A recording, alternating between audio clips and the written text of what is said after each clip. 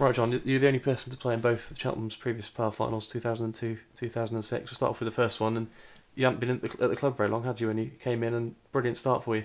Yeah, I did. I came in and gate crashed it really. Um, Lincoln were in in financial turmoil and they needed to get rid of a few players, and, and Steve came in, um, and I think there was twelve games to go of the normal season, um, and I kind of thought we were going to go up automatically. I think everyone else did as well, um, but it, it wasn't to be. But it worked out even better. We got the playoffs, and um, that made it fifteen games with the with the three playoff games as well. So uh, no, it was brilliant. We couldn't have wished for a better start, and. Uh, it just cemented my decision to, to come really. Yeah. What What are your memories of the semis? Because it, it, obviously it's the best way to go up if you're successful. But the nerve wracking games it must have been against Hartlepool, especially when it went to penalties. Yeah, because it's it's all or nothing, and uh, the Hartlepool games were tough. We, uh, if we're being honest, they probably shaded both games. Um, we managed to get uh, two draws, two one-all draws, uh, with a couple of good goals, equalisers. But uh, we were behind in both games, and uh, and a nerve nerve wracking penalty shootout as well. So um, it could have gone either way, but we were we got that bit of luck that you sometimes need, and uh, yeah, we uh, we got through to the final and, and thankfully won that quite comfortably in the end. Yeah, you weren't sort of known for being prolific during your career, but you scored on your debut, didn't you? And you scored Yeah. a good goal against Oxford, and you scored in the final as well. So you goal scoring at Cheltenham started well. It started well, yeah. Uh, first 15 games, I scored three goals, um, which was un- unheard of for me. I'd probably scored three in the previous three or four seasons at Lincoln. Um, but I just kind of, Steve encouraged me to get forward a little bit more, and I was breaking from midfield. And when you've got Tony Naylor and, and Jules up front, you get little nod downs, and, and Tony was quite clever with his little layoffs and things like that. So you, you got opportunities a lot more. So the final came along, Millennium Stadium. What was what was the build up like? 'Cause you you stayed in one of the FA Cup final hotels, didn't you? Yeah, um, San Pierre, I think it was. Um, you want to speak to Shane Duff? He's got an interesting story about staying there. But um, yeah, we stayed at San Pierre, which was great. We stayed. I don't know whether we stayed one or two nights before the final. I can't quite remember. I know we stayed after as well and had a bit of a party. Um, but it was great, great preparation. We trained up there on the golf course, and um, yeah, it was, it was amazing. Just everything about it was it was like building up for an FA Cup final for uh, for lower league players really. And uh, when we pulled in, there was a sea of red and white everywhere, and the support was great from Cheltenham, and uh, it was brilliant. The performance was great, and it was uh, the pitch was lovely, and a nice sunny day, and to cap it off with a goal and to finish it off was, was fantastic. Yeah, one of the first things I remember about the game is Martin Devaney scoring and then running to the empty side of the stadium, and then Yeah. a couple of minutes later they'd equalised. So it all happened very quickly, didn't it? It was funnily enough. Yates he absolutely hammered him for running over towards the empty stands after the goal, and Martin said he, he didn't know why he did it. It just it, the emotion just took over, and he didn't know what he was doing really. He took his shirt off to show his uh, show his body off, his physique off, and uh, he got a bit of stick for that as well. But yeah, we I think we were still celebrating, and concentration had completely gone. We were all overexcited, and Paul Hall, um, who I bumped into actually a couple of weeks ago and had a chat about it with, he he just broke, and we just seemed to part and. It was a great goal from his point of view, but from our point of view, it was pretty bad defending, really. And you got to make sure you concentrate after you score. That's the lesson learned there. Yeah. Did Steve Cotterill hammer a few people at half time for that, or was he was he all right? I can't, I can't remember. Um, I really can't remember what he said at half time, to be honest. Um, oh, no, I, I, honestly, he might have done. I, I just can't remember. Yeah, and then Jules obviously made it two one. He'd been scoring goals for fun that season. Yeah. hadn't Yeah, No. he was banging them in right, left, and centre, and it just that was probably the easiest one of the lot for him. I can't remember. There was a bit of a scramble, I think, and a bit of a lucky deflection just fell back to him, and he just slotted it into an open net. Yeah. So. And then the pressure was off a little bit. Um, I think Neil Grayson came on, didn't he? Hit the Mm. bar, and then he, you tied it up with a, with a nice finish. yeah, it was a, a good build up actually. I think Mike Duff's cleared one out of defence with a big hoof, and I think Lee Williams got it down and played it inside to Tony Naylor. He's found Grace with a great ball. He's coming from the left hand side, and he's absolutely smashed one. I think from about twenty five yards. It would have been hell of a goal if it had gone in.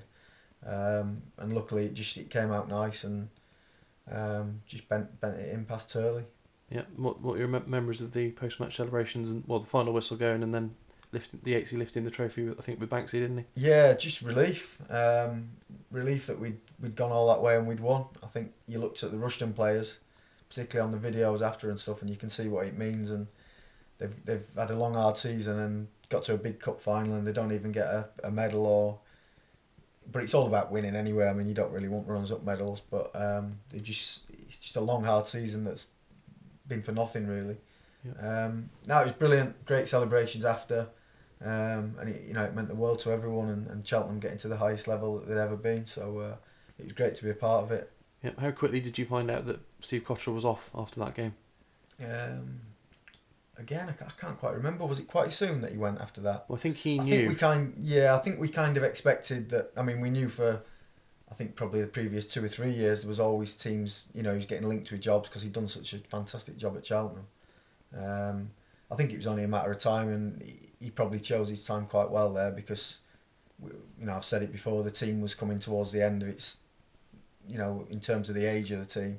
There's a lot of older players, mid thirties, who'd done superb to be still playing at that level. To be honest, but a lot of them had come in come into the league football quite late, so um, they managed to prolong their careers a little bit. And you know Neil Grayson, Chris Banks, Lee Howells, all those players, and, and maybe Bucky as well. So uh, Yatesy, Neil Howarth, really a really old team to be honest. Yeah. And I think Steve maybe saw that that might have been one uh, one bridge too far the next season.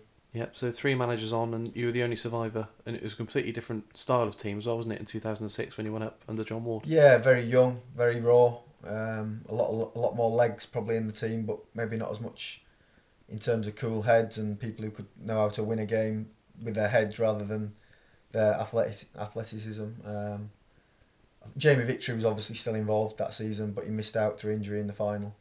Um, so he was one of the ones who's been through it all really. Um, he was, like I say, unfortunate to miss out in the final. Otherwise, he should have played in both really. Um, but Craig Armstrong and Mickey Bell came in and, and did a great job to see us through. But um, sorry, I forgot your question. Just the, the off between the two teams. Yeah. Really, I think it was the legs really. We were young. We were young, hungry. Um, loads of legs in the team. You know, Brian Wilson, Ashley Vincent, JJ Melligan could run all day. Um, myself. Um, you know, we just we just had loads of athletes really. Yeah, and you had the Great Cup run, which Cheltenham have obviously had this year. Um, you got through to play Newcastle in the fourth round, and did that give everyone sort of a lift through, ready for the second half of the season because you pushed on well, didn't you? Great attention, you know, the, the attention that you get from the press and and and the, locally and nationally for a game like that, TV cameras, um, big games, and they, they help you prepare really for the, the, the more big games that come along. You, you kind of you you used to them a bit more. Yeah. I mean, even going up to Chester, I know it's a probably a relatively small club, but it was a huge game in terms of we knew what was at the end of it. So that that was a pressure game. So to go up there and win was big. Um, and then the, the performance in the Newcastle game, as much as anything, gave us confidence. Yeah. And the second half of the season was, you know, we went strength from strength to strength. Yeah, Wycombe away. You gave yourself a great start, didn't you? The first goal, and then Steve Guinan made it 2 0. Looked like you were firmly on course for the final. Yeah, again, we, we came under a lot of pressure against Wycombe early on, but I think we settled down into the game and uh, I managed to score just before half time and uh, against the run of play, really, I think, again. Um, but it was a good time to score and, and we went into the second half and played pretty well actually then. We, we settled right down. Steve Guinan put us 2 0 up with probably 15 20 minutes to go, cruising, playing well, and then right at the end we've come under a little bit of pressure and Tommy Mooney smashed one in and opened it right up again for the for the second leg at Whaddon Road. Yeah, and all I remember about that game is defence, you know, everyone having to get behind the ball and just work for 90 minutes to keep him out, but you did it. Yeah, I don't, I don't know how we were under the cosh probably for 80 minutes out of that game. I can't remember. I think we, created one or two decent chances. I think Steve had a good chance, but you know how we how we managed to keep a clean sheet that night is credit to the whole team. But you know the boys at the back and and Higgsy in goal were, were superb to be honest. Yeah, and then Grimsby, you, you hadn't beat the club had never beaten Grimsby, and you'd lost them twice that season, and obviously they were the big favourites, weren't they, for the final? Yeah, they they just missed out. They probably they were one of the teams that you thought were nailed on for automatic promotion all season. Really, they were big, strong, physical. Um, Reddy was on fire that season, and um, uh, you know they probably went into the playoffs gutted that they'd not gone up, whereas we went into the playoffs on in great form. You know, really excited about it, and um, yeah, we, we we managed to turn them over, and I think deservedly so in the final. But uh, again, we were massive underdogs. No one fancied us at all, and uh, but we you know we, we always fancied ourselves in the dressing room, and we probably played a slightly different game. We probably played more football in the final than we did it during the rest of the season, or we tried, because we, we our natural game, which was a bit of a mixture, long and short, didn't quite work against them during the season. So we, uh, you know, Kayode won't thank me for saying it, but John John left him out and um, brought Steve Gillespie in after a long injury, and and uh, just we just tried to play into feet a little bit more rather than in behind, and it, it worked. Yeah, I remember you opening them up a few times in the first half and missing a couple of chances, Mm. but when when the goal did actually come, it was uh, it was a cross, wasn't it? It was, yeah, yeah. The, the deadlock um, got broke by a cross, but um, that's all history now. And uh, it's like Steve said, he just put it in there, and, and it's gone in, and he's he's got his goal in the final. But uh, yeah, we had two good chances early on. Steve was one. Um, I think that came from a defensive mistake from Yeah. The big lad Jones. I think nodded one back a bit short. He'd had a great season, but he had a bit of a nightmare early on in that game. Um, and Steve sort of chested it and volleyed it, and the keeper took it comfortably.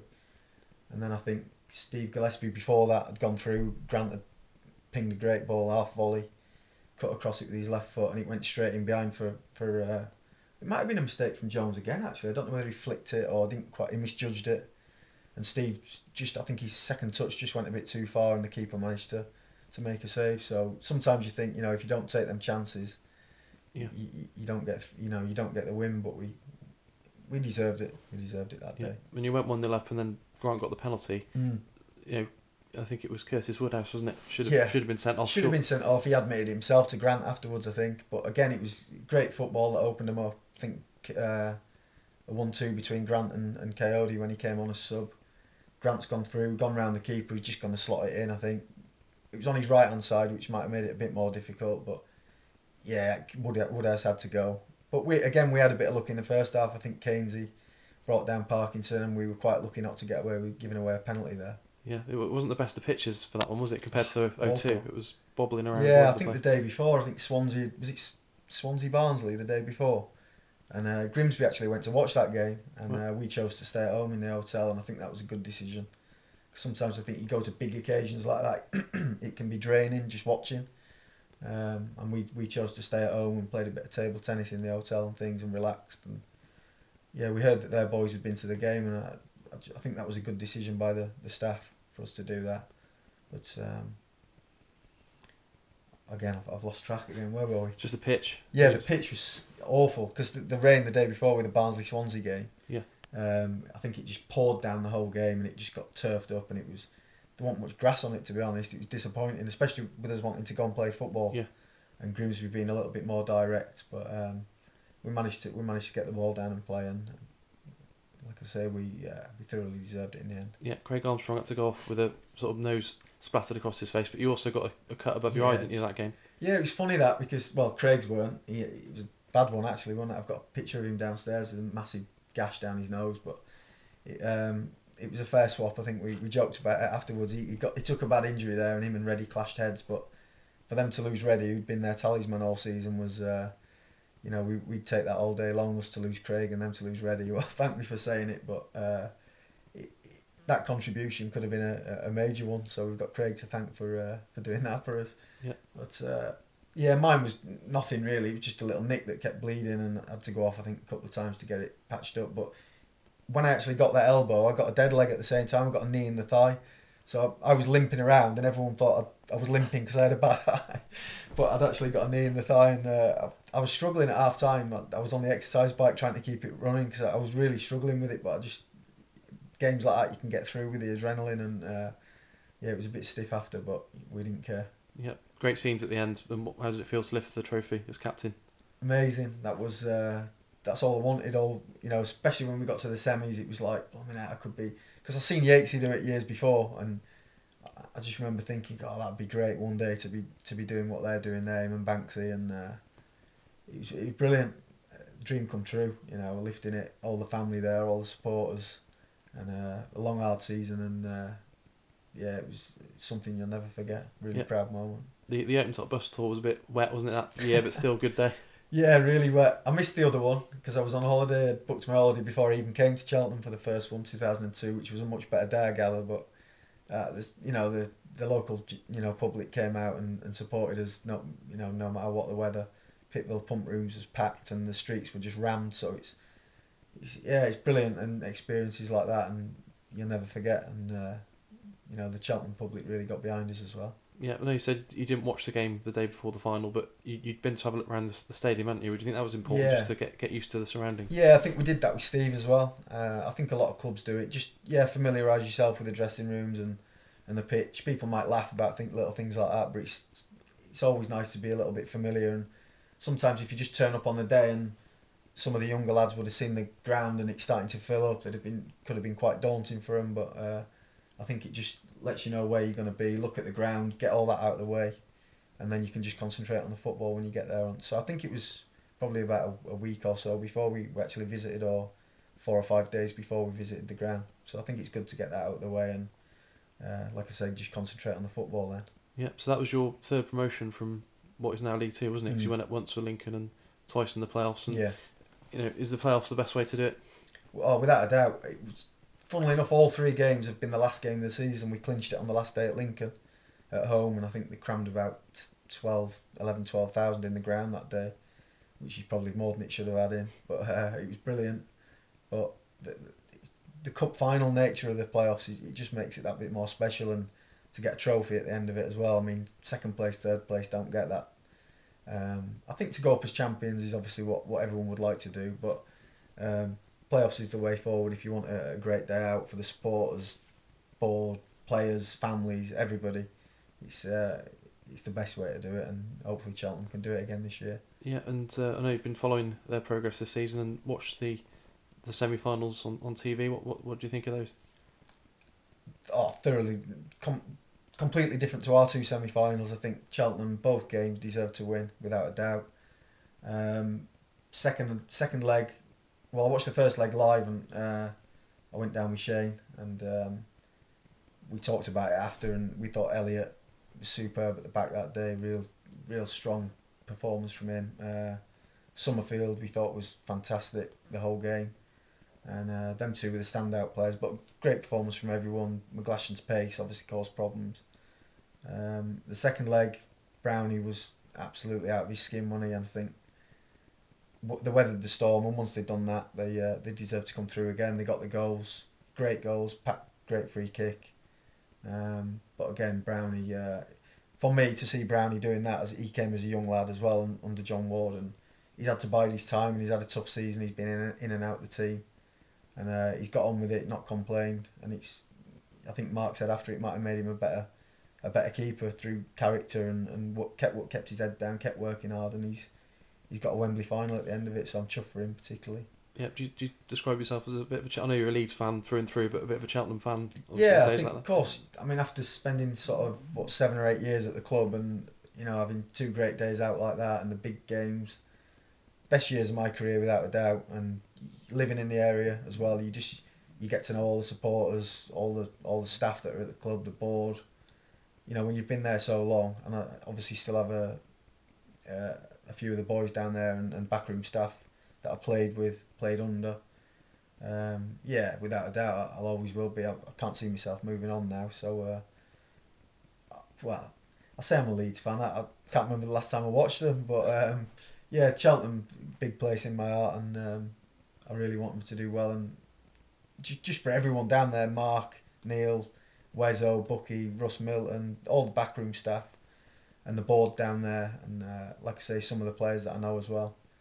Um, yeah, big big day for him on, on Sunday, and I'll be there cheering him on. Yeah, I was going to ask if you got your tickets. Yeah, Not not sorted him out yet, but we'll get there. Um, we'll get there. Yeah. we'll Ju- be there. Obviously because because they've got to the playoff final again. People and there's been comments made by Mark Yates himself about how good this team is. There's bound to be comparisons between the three playoff winning teams. How would you compare? Well, get your thoughts on the midfield first because they've, they've got a lot of credit this season for their Yeah, performances. and rightly so. I think I've I've I've watched it from afar for most of the season because I was playing myself at Shortwood. Um, so I've sort of seen. I've only seen the Bradford game and the two playoff games live. Um, so unfortunately, I haven't seen Penn play too much apart from coming on in the se- uh, second leg and doing really well. But I know about him anyway, and that he was at Kiddie with Mark, and obviously I was at Kiddie after him, and he, he was very highly regarded there, and at Burton I think as well. And uh, he came on in that second leg and showed what he was about, and, and lifted the team. I think. Yep. Um, the other two, um, Summerfield, like I said earlier, was magnificent. Um, and then Pat, you know, the, the goal he scored showed his quality in the in the second leg as well. And um, I think if you if you want to play football, he, he's your man. He's going to get on the ball and, and make things happen. And uh, Summerfield, I think he's up and down, and he, he can do a bit of everything. I think so. Uh, them three have been been superb. But again, the whole team. I've you know Shane's told me that Bennett's been superb at the back. Uh, great captain. Um, Butland came in and did well, and the lad at right back, Jombati, is it? Yeah. Apparently he's been great as well. I've not seen too much of him, but the whole team, the whole squad have done, done magnificent, much better than anybody could have ever expected. And uh, credit to Mark and, and Neil for, for getting that team together. Yeah. Which one of the two you played in do you think was the was the better team, all round?